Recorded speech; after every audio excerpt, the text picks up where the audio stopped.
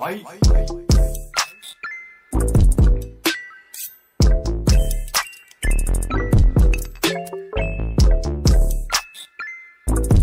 ជំរាបសួរសួស្តីប្រិយមិត្តទាំងឡាយទាំងចិត្តទាំងឆ្ងាយទាំងថ្មីទាំងចាស់អេដមីនថានីត្រឡប់មកទីរៃហើយថ្ងៃនេះយើងចូលមកដល់ភាគទី3ហើយណាហើយមុននឹងចូលទៅដល់សាច់រឿងអេដមីនចង់ប្រាប់ថា scan QR code ហើយនឹងចាយនៅ 7-Eleven តាមរយៈ True Money Wallet ណាអ្នកទាំងអស់គ្នានឹងទទួលបានទឹកប្រាក់ត្រឡប់មកវិញរហូតដល់ទៅ20%ឯណោះអញ្ចឹងតោះ download តាម link ដែល admin បានដាក់ឲ្យហើយនឹងបញ្ចូលលុយផងណា scan QR code នឹងចាយនៅ 7-Eleven តាម True Money Wallet ទទួលបានទឹកប្រាក់ត្រឡប់មកវិញរហូតដល់20% ទាញយកនិងចុចឈ្មោះកម្មវិធី True Money ឥឡូវនេះ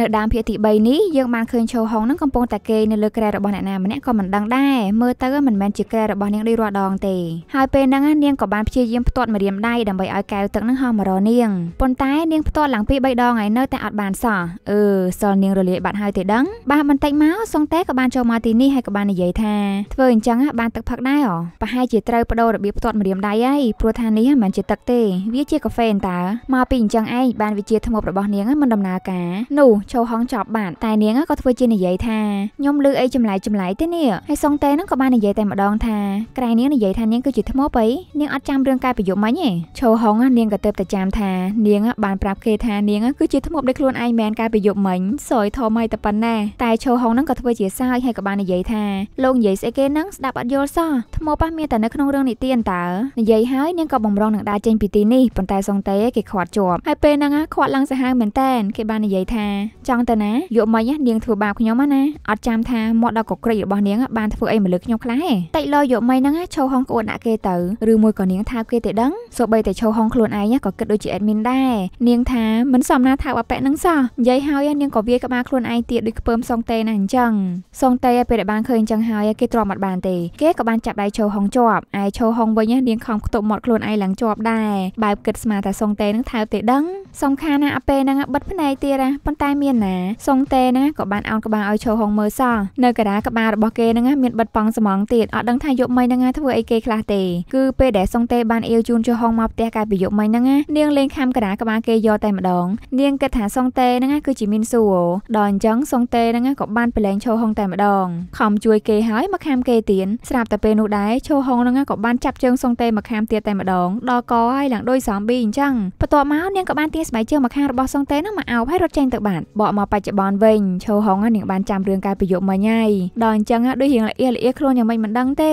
សំខាន់ណាស់គេអោស្បែកជើងគេឡើងមកយប់ទៀតស្បែកជើងនៅលើពូក៏ហើយសុងតេវិញគេក៏បានស្ដីឲ្យឈោហុងឡើងច្រើនព្រោះថាតាំងតែពីបានជីឡានបុកឈោហុងនឹងមកគេដូចជាមិនដែលជួបរឿងល្អល្អសោះពេលជួបគេនៅម៉ាតក៏ចាប់បោកគេនៅនឹងម៉ាតនឹងទៀតហើយមិនត្រឹមតែប៉ុណ្្នឹងទេចាស់ទឹកដាក់ការ៉ាមកគេទៀតហើយយកមិញហ្នឹងខំគេផងអីផងហើយគិតមិនជាមួយគេហ្នឹងបាទបន្តិចមកឈោហុងហ្នឹងក៏ធ្វើជាចង្អុលថាអញស្អីគេនោះដល់ពេលសុងតេងាកទៅមើលឈោហុងហ្នឹងក៏បានឱកាសរត់ចេញបានសម្រេចតែម្ដងមានតែប្រើក្បាច់នឹងហើយបានរត់រួចពីទីនេះបន្ទាប់មកនាងក៏បានមកគិតតែម្នាក់ឯងថាមិនបានមុនហ្នឹងនាងប្រើសិលនាងអត់បានចឹងវាមិនអាចថានាងអស់សិលទេមែនទេចំណែកឯលោកយាយធំឯនេះវិញកំពុងតែអង្គុយបារម្ភពីឈោហងហើយដោយសារតែបាត់នាងមកយកឲ្យអត់ដឹងថាទៅណាទេទូរស័ព្ទក៏មិនលើកទៀតឯលោកយាយតូចវិញក៏បានគិតថាឈោហងហ្នឹងកំពុងតែខូចចិត្តអញ្ចឹងហើយឲ្យនាងមានពេលវេលាកាត់ចិត្តខ្លះទៅ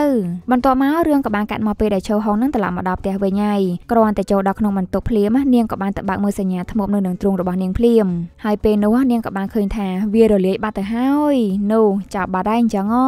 រួចហើយរឿងក៏បានកាត់ទៅបង្ហាញពីតារាស្រីពីររូបដែលម្នាក់នេះគឺជាតារាទៅនឹងរះថ្មីហើយល្បីខ្លាំងមែនតែនចំណែកឯម្នាក់ទៀតនេះវិញចូលសិល្បៈរៀងយូរដែរហើយ ហើយឥឡូវហ្នឹងម្នាក់ម្នាក់ដូចជាមិនសូវឲ្យតម្លៃនាងសោះទាំងដែលពីមុនមកនាងធ្លាប់ដើម្បីសឹងអីទៅហើយលោកដល់ពេលដែលត្រូវសម្ដែងគឺជាឈុតស្រីស្រីវាយបលែងគ្នាអីចឹងទៅហើយតារាទៅមករះនេះខូចមែនតើអ្នកទាំងអស់គ្នានាងលេងវាយតារាជើងចាស់ហ្នឹងឡើងមកទំហឹងតែម្ដងហើយវាយគ្នាឡើងដួលឯ director វិញហ្នឹងក៏ណាស់ទៀតគ្មានចេះបែងចែកឲ្យច្បាស់ថាអ្នកណាខុសអ្នកណាត្រូវទេគាត់បានស្ដីឲ្យតារាជើងចាស់ហ្នឹងថាមិនក៏មិនចូលតួមិនខំប្រឹងអីសោះចឹងធ្វើបាបតារាទៅមករះមែនហើយពេលហ្នឹងមិនមែនម្ដងពីរដងឯអ្នកទាំងអស់គ្នាតារាទៅមករះហ្នឹងវាវាយតារាជើងចាស់ហ្នឹងឲ្យដួលរហូតមើលហើយឡើងសគ្រូថ្មិញខឹងជំនួសហ្មងណាហើយកាន់តែខឹងទៀតគឺ director ហ្នឹងហ្មងនិយាយពីថាកាន់ជើងតារាទៅម្រះនេះហួរនិយាយទៅគឺថាជ្រុលហ្មងណាហើយការអត់ធ្មត់របស់មនុស្សយើងក៏មានកម្រិតដែរតារាជើងចាស់របស់យើងនាងលែងខ្វល់ទៀតហើយនាងក៏បានចាប់វាយតារាទៅម្រះនេះតែម្ដងពួកគេទាំងពីរនាក់ហ្នឹងក៏បានបោយសក់វាយគ្នាឡើងពេញហ្នឹងគ្មានបានថតជាសាច់ការអីទេចុងក្រោយឈឺសាច់រៀងរៀងខ្លួនបន្ទាប់មកតារាជើងចាស់ម្នាក់នេះក៏បានមកណាត់ជួបជាមួយនឹងសុងទេណាត់មកជួបដល់ក្រុមហ៊ុនរបស់គេតែម្ដងនាងពិបាកចិត្តពេកក៏មកនិយាយលេងជាមួយនឹងសុងទេតែម្ដងទៅណាមួយខានជួបគ្នាឡើង3ឆ្នាំហើយហើយយើងក៏មិនបានដឹងច្បាស់ថាពួកគេទាំងពីរនាក់ហ្នឹងមានទំនាក់ទំនងអ្វីជាមួយនឹងគ្នាដែរដែលខណៈពេលនោះដែរក៏មានអ្នកយកសារព័ត៌មានហ្នឹងបានលួចថតសកម្មភាពរបស់ពួកគេទាំងពីរនិយាយទៅឲ្យតែជាតារាល្បីដឹងតែមានអ្នកតាមប្រមាញ់អញ្ចឹងហ្មងដូចជារស់នៅមិនបានសុខនឹងគេសោះតោះយើងក៏លេទៅមើលឈោហងវិញនាងកំពុងតែមានអារម្មណ៍ថាមិនអាចទទួលយកបានទេដែលបាត់វេទមន្តភ្លាមភ្លាមបែបនេះនោះហើយនាងក៏ចេះតែសាកល្បងប្រើវេទមន្តប្រើសិលរបស់នាងអញ្ចឹងទៅហើយពេលហ្នឹងនាងប្រើអីក៏មិនកើតដែរខំប្រឹងផ្ទាត់ម្រាមដៃខំប្រឹងធ្វើអីក៏នាងធ្វើអត់កើតដែរដោយសារតែនាងអស់វេទមន្តឯហ្នឹងនាងក៏បានលាក់រឿងនេះពីលោកយាយទាំងពីរនាក់ទៀតដែរមិនអាចឲ្យពួកគាត់បានដឹងទេពេលនោះដែរលោកយាយតូចក៏បានដើរចូលមកចង្ក្រានបាយហើយក៏បានសួរឈៅហងថាម៉េចហើយរឿងឯងជាមួយនឹងមីនស៊ូនោះឯងត្រូវប្រយ័ត្នបន្តិចផងព្រោះថាសញ្ញាធ្មប់នេះអាចរលាយបាត់បានគ្រប់ពេលទាំងអស់គ្រាន់តែលឺអញ្ចឹងហើយឈៅហងឡើងបុកពោះហើយនាងក៏បានសួរលោកយាយតូចថាចុះបើសិនជាបាត់សញ្ញានោះមែនណាតើខ្ញុំត្រូវធ្វើម៉េចទៅខ្ញុំត្រូវស្លាប់មែនលោកយាយតូចមិនទាំងទាន់បានឆ្លើយថាម៉េចផងលោកយាយធំក៏បានដើរចូលមកឬក៏បាននិយាយថាបើស្លាប់មែនណាជាការប្រសើរហើយឯងចង់ឃើញតែផ្ទាល់ភ្នែកមែនមើលទៅបែបជាលំបាកខ្លាំងហើយមើលទៅអ្នកទាំងអស់គ្នាបានទឹកមុខរបស់ពួកគាត់ដូចជាសេរីមែនតែនដូច្នេះនៅយប់នេះផងដែរលោកយាយតូចក៏បាននាំឈោហងនឹងឲ្យបានឃើញផ្ទាល់នឹងភ្នែកតែម្ដងដោយលោកយាយតូចនឹងបាននាំមកកន្លែងមួយដែលពោពេញទៅដោយអ្នកសុំទានកន្លែងហ្នឹងឡើងគួរឲ្យខ្លាចខ្លាំងខ្លាំងមែនតែនអ្នកសុំទានទាំងអស់នោះបានមកចោមរោមលោកយាយតូចហើយនឹងឈោហងឡើងជុំចិត្តប៉ុន្តែពេលនោះដែរក៏មានអ្នកសុំទានស្រីម្នាក់ហ្នឹងដែលមានមាឌរៀងធំបន្តិចនាងបានរត់សម្ដៅមកទីនេះយ៉ាងលឿនដូចជាមនុស្សឈួតអញ្ចឹងសំខាន់ណាស់គ្រាន់តែមកដល់អ្នកសុំទានផ្សេងផ្សេងហ្នឹងរត់អស់លេងហើយនាងហ្នឹងក៏បានមកកញ្ឆក់មហូបអាហារទាំងអស់នោះពីពួកគេទាំងពីរអ្នកតែម្ដងហើយគ្រាន់តែកញ្ឆក់បានមកភ្លាមនាងក៏បានកែញាត់កែញាត់ដូចជាមនុស្សអត់ឃ្លានរាប់ថ្ងៃមកហើយអញ្ចឹងប៉ុន្តែបានមួយសន្ទុះមកនាងក៏បានរត់ចេញទៅខាងក្រៅបានហើយនារីម្នាក់នឹងហើយគឺជាធ្មប់ដែលអស់វេទមន្តអស់សិលដោយសារតែភាពផិតក្បត់របស់មនុស្សប្រុសពិបាកដែរស្រឡាញ់ចាំមនុស្សក្បត់ហើយនាំទុកដាក់ខ្លួនឯងទៀតស្នេហាអំពើទុកអញ្ចឹងអ្នកទាំងអស់គ្នាប៉ុន្តែបើគេសួរថាចង់បានស្នេហាអត់ចង់បានតើប៉ុន្តែសូមឲ្យស្មោះស្ម័គ្របន្តិចមកលុះនៅតាមផ្លូវត្រឡប់ទៅហាងវិញឈៅហុងក៏បាននិយាយទៅកាន់លោកយាយតូចថាលោកយាយអាលោកយាយថាមានធ្មប់ម្នាក់ដែលចេះវិជាខ្មៅងងឹតទៅហើយថែមទាំងបានបើកហាងប្រចាំរបស់ទៀតលោកយាយតូចគ្រាន់តែបានលឺភ្លាមក៏បានឲ្យឈៅហុងនឹងបន្ថយសម្លេងបន្តិចទៅកុំនិយាយលឺលឺពេកយ៉ាត់មានអ្នកលឺហើយគាត់ក៏បាននិយាយប្រាប់ឈៅហុងថាធ្មប់នោះត្រូវបានធ្មប់ធ្មប់នេះរទេសលេងឲ្យចូលបកសម្ព័ន្ធធ្មប់ទៀតហើយដោយសារតែគាត់ហ្នឹងបានប្រើវិជាខ្មៅងងឹតដែលវិជាហ្នឹងធ្មប់ធម្មតាត្រូវបានហាមគាត់ហើយលោកយាយតូចហ្នឹងបានហាមកុំឲ្យឈៅហុងហ្នឹងរំលឹកពីធ្មប់នោះទៀតអីតែលោកយាយធំលឺឈៅហុងហ្នឹងដឹងតែស្លាប់ជាមិនខានលុះពេលដែលទៅដល់ផ្ទះឈៅហុងក៏បានចូលទៅក្នុងបន្ទប់សម្ងាត់មួយកន្លែងរបស់ពួកគេទាំង3នាក់ហើយនាងក៏បានដើរមើលរបស់របរឡើងពេញបន្ទប់អត់ដឹងថានាងរកមើលរបស់អីទេនាងថែមទាំងបានធ្វើឲ្យមុតដៃជាមួយនឹងកំបិតតូចមួយនោះទៀតបន្ទាប់មកនាងក៏បានឃើញរបស់មួយកុំថានាងចង់យករបស់ហ្នឹងដើម្បីទៅបញ្ចាំធ្មប់ដែលមានវិជាខ្មៅងងឹតនោះឲ្យសោះណារួចហើយរឿងក៏បានកាត់មកសងតេបន្តិចវិញដែលគេបានជូនតារាជើងចាស់ម្នាក់នេះមកទីលំនៅរបស់នាងសំខាន់ណាពេលហ្នឹងក៏មានអ្នកសារព័ត៌មានហ្នឹងបានលួចថតរូបរបស់ពួកគេបានទៀតហើយថតបានរូបល្អល្អទៀតហ្នឹងណាហើយបន្ទាប់មករឿងក៏បានកាត់មកពេលព្រឹកតែម្ដងឈោហុងនាងកំពុងតែស្មឹងស្មារតីថាប្រមាណថាហ្នឹងនាងទូអស់ឬមួយក៏អត់អស់ដោយសារតែនាងលែងមានសិលដូចមុនហើយហ្នឹងនាងសម្លឹងសម្លក់ចុះឡើងនាងក៏សម្រេចចិត្តថាទូលតែបីថាទេថ្ងៃហ្នឹងធ្វើឲ្យលោកយាយលោកយាយពិតជាឆ្ងល់មែនតែនឈោហុងក៏បានដោះសារថាក្រែងលោកយាយប្រាប់ខ្ញុំថាកុំឲ្យប្រើសិលអីអញ្ចឹងខ្ញុំត្រូវតែប្រុងប្រយ័ត្នព្រោះថាមានភ្នែកមនុស្សជាច្រើនសន្លឹងមកនិយាយរួចហើយនាងក៏បានដើរចេញទៅវិញទៅនិយាយអញ្ចឹងអេដមីនសុកបង្ហាញពីជេវុកម្ដងគេគឺជាអ្នកនិពន្ធ webtoon ម្នាក់ហើយថ្ងៃនេះគេក៏បានទៅមកដើម្បីទិញរបស់ខ្លះយកមកទុកញ៉ាំនៅក្នុងផ្ទះលុះពេលដែលត្រឡប់មកវិញក៏បានប្រទះឃើញឈោហុងនៃចៃដន្យដោយមើលទៅឈោហុងថ្ងៃហ្នឹងដូចជាស្ញយស្ញយយ៉ាងម៉េចមិនដឹងទេគេក៏បានមកសួរនាងថាអ៊ីអ៊ីឯងឈឺមែនជេវុកតែងតែហៅឈោហុងថាអ៊ីអ៊ីតែអញ្ចឹងឈោហុងក៏បានតបថាខ្ញុំអត់មានឈឺអីផងតែជេវុកហ្នឹងក៏បាននិយាយទៀតថាអត់ទេច្បាស់ជាមានរឿងអីហើយព្រោះថាហាងលក់ស៊ុបរបស់អ៊ីឯងឥឡូវហ្នឹងបើកដល់យប់យប់សំខាន់ណាឡើងថ្លៃស៊ុបទៀតមួយចានឡើង3000កន្លែងហ្នឹងអ្នកទាំងអស់គ្នាមានចាប់អារម្មណ៍អត់ជេវុកដូចជាពាក់អាវប្រជ្រះឬមួយក៏អាអាវហ្នឹងម៉ូតរបស់គេទេតែចំពោះអេដមីនណាអេដមីនគិតថាអាវហ្នឹងដឹងតែប្រជ្រះហ្មងហើយពេលដែលបានស្ដាប់ជេវុកនិយាយរួចហើយឈោហុងក៏បាននិយាយថាបើថ្លៃមែនណាទៅរកញ៉ាំកន្លែងផ្សេងទៅ ជេវុកក៏បានលើកថងមីឲ្យនាងមើលហើយក៏បាននិយាយថាមកពីអញ្ចឹងឯងបានឥឡូវហ្នឹងខ្ញុំញ៉ាំតែមីហ្នឹងទេហើយជេវុកហ្នឹងគេក៏បានកំណត់ឈោហងហ្នឹងដើរ delivery រហូតដល់អស់ហើយក៏បានដើរមកហាងវិញជាមួយនឹងនាងទៀតលុះពេលដែលមកដល់ហ្នឹងសុងតេក៏បានមកដល់ទីនេះដូចគ្នាដោយជេវុកមើលទៅឈោហងហ្នឹងដូចជាខ្លាចសុងតេគេក៏បានយកដៃរបស់គេហ្នឹងទៅគៀកស្មាឈោហងហើយក៏បាននិយាយថា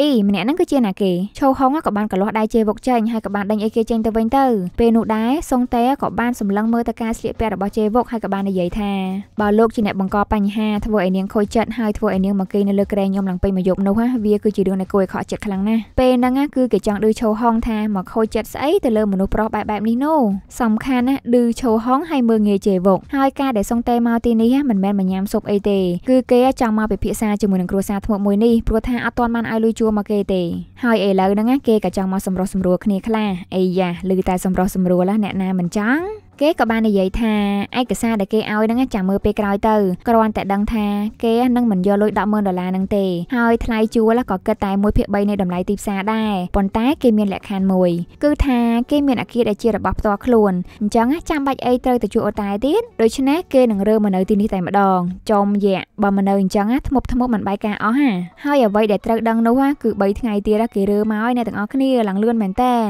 ព្រមឬក៏មិនព្រមអត់ខ្វល់ទេតោះយើងមកមើលឯកសារដែលសុងតេទុកឲ្យធ្មប់ទាំង3នាក់នេះវិញគឺប្រការទី1អាហារពេលព្រឹកត្រូវរៀបឲ្យរួចរាល់នៅម៉ោង7ព្រឹកអឺឡើងដូចអ្នកបំរើរបស់សុងតេហ្មងនេះប្រការទី2ពីម៉ោង10យប់ដល់ម៉ោង5ភ្លឺហាមមានសម្លេងអ៊ូអអញដល់អញ្ចឹងធ្មប់ធ្មប់ធ្វើទឹកស៊ុបមិនកើតទៅដោយសារតែពួកគេធ្វើទឹកស៊ុបតែម៉ោងដែលមនុស្សគេងលក់ហ្នឹង ប្រការទី3បន្ទាប់ពីខ្ញុំចេញទៅធ្វើការបន្ទប់ត្រូវតែសម្អាតឲ្យបានស្អាតស្រាប់តែលោកយាយធំហ្នឹងក៏បានឲ្យឈោហងហ្នឹងឈប់អានទៀតទៅស្ដាប់យូរយូរទៅកាន់តែមានអារម្មណ៍ថាដូចអ្នកបំរើមែនតើណៃនិយាយទៅគឺថាដូចកាជះហ្មងហើយនៅសល់ប្រការឡើងច្រើនទៀតសឹងអីហ្នឹងតែថាបើពួកគេមិនព្រមជាមួយនឹងសងតេទេតើពួកគេនឹងមានគំនិតអីផ្សេងទៀតអត់ ណាមួយរលុយ100000ដុល្លារនឹងអត់បានផងហ្នឹងលោកយាយតូចក៏ចង់ធ្វើឲ្យការចងចាំរបស់សងតេនឹងបានដូចជាពូប្រធានសមាគមអ្នកលក់ដូរនោះប៉ុន្តែនេះមិនមែនជាគំនិតល្អឡើយបើសិនជាពួកគេធ្វើអញ្ចឹងមែនណាពួកមនុស្សទាំងអស់ច្បាស់ជាសង្ស័យមកលើពួកគេជាចម្បងជាមិនខានអញ្ចឹងជំរឿមានតែឲ្យសងតេមកនៅនឹងឯងហើយនិយាយអញ្ចឹងនៅថ្ងៃស្អែកនេះពួកគេត្រូវមានសម្ភារជាមួយនឹងប៉ុស្តិ៍ទូរទស្សន៍ទៀតលោកយាយតូចក៏ខំតែងខ្លួនឡើងស្អាតមែនតែនប៉ុន្តែគាត់ក៏ត្រូវលោកយាយធំស្ដីឲ្យហើយក៏បានដេញឲ្យគាត់នឹងទៅដូរកៅអៅចេញភ្លាមភ្លាមទៅស្លៀកពាក់កៅអៅធម្មតាគឺល្អបំផុតហើយហើយឡើងស្ដាយគាត់ខំតែងខ្លួនយ៉ាងយូរផងបន្ទាប់មកលោកយាយធំហ្នឹងក៏បានមកពិភាក្សាគ្នាហើយគឺថាពេលដែលមានគេមកសម្ភាសពួកគេដាច់ខាតត្រូវតែលាក់សិលរបស់ពួកគេបានចិត្តព្រោះថាមានកាមេរ៉ាជាច្រើនតាមថតសកម្មភាពរបស់ពួកគេជាពិសេសគឺឈោហងនឹងតែម្ដងគាត់បានផ្ដាំថាមិនត្រូវចេះតែផ្ទាត់ម្រាមដៃអញ្ចឹងទេ តាហ៊ានតែផ្ទាត់គាត់នឹងកាច់បំបាក់ដូចជាចកឹះនឹងអញ្ចឹងតែផ្ទាត់អីទៀតនឹងអស់សិលឯហ្នឹងហើយអ្នកដែលមកសម្ភាសពួកគេហ្នឹងគឺជាតារាជើងចាស់ហើយនឹងតារាទៅព្រះនេះទៀតហើយដល់អញ្ចឹងកម្មវិធីហ្នឹងមិនដឹងជាយ៉ាងណាយ៉ាងណីទេហើយបានបន្តិចមកកម្មវិធីក៏បានចាប់ផ្ដើមហើយលោកយាយតូចហ្នឹងដូចជារាយមុនស្នេហ៍ដល់ឡៃពេលហ្នឹងមកញ៉ាំញ៉ាំដាក់កាមេរ៉ាអីណាហើយពេលហ្នឹងដែរពិធីការនីហ្នឹងក៏បានសួរលោកយាយធំថាមិនបានអាចកាន់ចានស៊ុបដែលកំពុងតែក្តៅកគុកហ្នឹងដោយដៃទទេបានអញ្ចឹងចម្លើយគឺគាត់បានឆ្លើយថាមានមនុស្សពីណាទៅធ្វើបែបនេះកើតនោះពួកយើងធ្វើអត់កើតទេនិយាយទៅគាត់ប្រកែករហូតសូម្បីតែសួរថាមិនបានអាចលីបាវឆ្អឹងជនីបានល្អម៉ែមនុស្សប្រុសពីរនាក់លីអត់ចង់រួចផងប៉ុន្តែគាត់លីតែម្នាក់ឯងទេឡើងរួចទោះបីសួរអញ្ចឹងក៏ពួកគេប្រកែកដែរលោកយាយធំមកថែមទាំងបានប្រើហឹង្សាទៅលើលោកយាយតូចឡើងឈាមចំោះទៀតរសាមមែនតែនពេលហ្នឹងកំពុងទៅថតកម្មវិធីផងហើយចុងក្រោយគឺដល់វេនឈោហងម្ដងហើយមិនបាននាងអាចទូលថាចានស៊ុបផងចុចទូរស័ព្ទផងទៀតបានអញ្ចឹងសំខាន់ណាស់មានរូបជាភ័ស្តុតាងអីត្រឹមត្រូវទៀតស្រាប់តែលោកយាយធំហ្នឹងគាត់ទ្រាំទៀតលេងបានហើយគាត់ក៏បានដេញវាឈោហងហ្នឹងឡើងពេញកម្មវិធីតែម្ដងគ្មានគិតថានៅមុខកាមេរ៉ាអីទេដល់អញ្ចឹងខូចកម្មវិធីអស់លេងដូច្នេះតារាជើងចាស់ហ្នឹងក៏ស្រាប់តែមានគំនិតមួយគឺថាទុកឯនាងជាអ្នកទូលចានស៊ុបនោះបានអត់នាងចង់ធ្វើឲ្យកម្មវិធីហ្នឹងកាន់តែល្អមើលកាន់តែមានអ្នកចាប់អារម្មណ៍អីអញ្ចឹងទៅដល់អញ្ចឹងតារាជើងចាស់ហ្នឹងក៏បានចាប់ផ្ដើមទូលចានស៊ុបដើរហើយហើយពេលហ្នឹងនាងដើរឡើងទៅតាក់តតប់ដោយកូនក្មេងរៀនដើរអញ្ចឹងសំខាន់ណាស់នាងថែមទាំងពាក់កែងទៀតគ្រាន់តែឃើញក៏បុកពោះជំនួសដែរហើយតារាទៅមរះហ្នឹងចិត្តខ្មៅមែនតែនឃើញគ្នាកំពុងតែវេទនាបែបនេះហើយហើយអាពេលដើរមកកាត់ខ្សែភ្លើងហ្នឹងនាងក៏ស្រាប់តែលើកខ្សែភ្លើងនោះដើម្បីឲ្យតាក់ជើងតារាជើងចាស់នោះដួលតែម្ដងហើយតារាជើងចាស់របស់យើងហ្នឹងពិតជាដួលរបស់គេមែនហើយទឹកស៊ុបហ្នឹងក៏បានតម្រង់ទៅរកតារាទៅមរះហ្នឹងទៀតប៉ុន្តែលោកយាយធំហ្នឹងក៏បានប្រើសិលឲ្យចានស៊ុបនោះខ្ទាតទៅម្ខាងទៀតបានអាយ៉ាអាយ៉ាខំផ្ដាំកូនចៅកុំឲ្យប្រើសិលប៉ុន្តែខ្លួនឯងនឹងបែរជាអ្នកប្រើសិលទៅវិញមេធំពិតជាមិនដែលខុសមែនហើយពេលហ្នឹងខ្នាញ់តារាទឹកម្រះនឹងខ្លាំងណាស់អ្នកទាំងអស់គ្នាលៀងក៏ធ្វើជាជំទាវលឺលឺថាមិនបានធ្វើអញ្ចឹងដឹងខ្ញុំភ័យអត់មានបំណងចង់ធ្វើបាបខ្ញុំដោយសារតែរឿងលើកមុននឹងមែនចុះបើខ្ញុំមកលាកទៅគិតម៉េចទៅជាអញ្ចឹងណាអ្នកទាំងអស់គ្នាហើយមួយមួយហ្នឹងគ្មានខ្វល់ជាមួយនឹងតារាជើងចាស់ដែលដួលមានរបួសអីទេទឹកស៊ុបអត់ត្រូវលំអួយប៉ុណ្ណឹងទៅហើយចុះទម្រាំដែលត្រូវទឹកស៊ុបជះចំទៀតដឹងអាម៉េចវិញទេ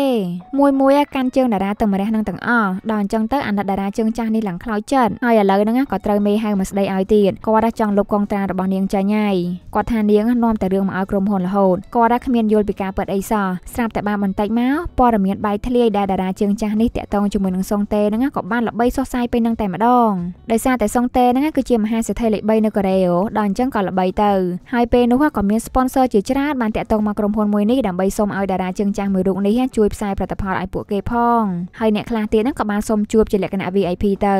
តែសំខាន់ណាក៏ត្រូវម្ចាស់ក្រុមហ៊ុនហ្នឹងបដិសេធមុនបាទសាមមែនតែនគាត់ក៏បាននិយាយថាគាត់ចង់ឲ្យតារាទៅម្រះហ្នឹងថត spot ថត sponsor ទេហើយតារាជើងចាស់ម្នាក់នេះវិញធីបចោលហ្មងនិយាយទៅវិស័យសិល្បៈពិតជាល្អកកមែនហើយពេលនោះតារាទៅម្រះហ្នឹងក៏ធ្វើជាកាន់ផ្កាឡើងមកកថៈដើម្បីមកសុំទោសតារាជើងចាស់នេះអីណាទៀតបកែសម្ដែងណាឡើងពឹសពលរួចហើយរឿងក៏បានកាត់មកឈោហុងបន្តិចវិញដែលពេលនេះយើងបានឃើញនាងដើរទៅរកធ្មប់ដែលចេះវិជាខ្មៅងងឹតនោះហើយភាគ3នេះក៏បានស្លេះត្រឹមហ្នឹងឯអ្នកទាំងអស់គ្នារងចាំទស្សនានៅភាគ4ជាមួយនឹង admin ថៃនេះជាបន្តទៀតណាអានញងរបៀបទាញយកនឹងចុះឈ្មោះកម្មវិធី True Money ចូលទៅកាន់ Google Play Store App Store ឬ App Gallery វាយពាក្យ True Money ចុចប៊ូតុង Download ចូលទៅកាន់ True Money Wallet ជ្រើសរើសភាសា បញ្ចូលលេខទូរស័ព្ទបញ្ចូលលេខកូដ6ខ្ទង់បញ្ចូលព័ត៌មានផ្ទាល់ខ្លួន ដើម្បីទទួលបានទឹកប្រាក់2ដុល្លារហ្វ្រីបញ្ចូលកូដណែនាំការ៉េ8ការ៉េ6ចូលគណនីចុចលើឈ្មោះគណនីរបស់អ្នកចុចដំឡើងទៀងផ្ទាត់និងបំពេញព័ត៌មានបន្ថែមថតបានសម្គាល់ខ្លួន selfie កាន់បានសម្គាល់ខ្លួនជាការស្រេចទាញយកនិងប្រើប្រាស់កម្មវិធី True Money ឥឡូវនេះ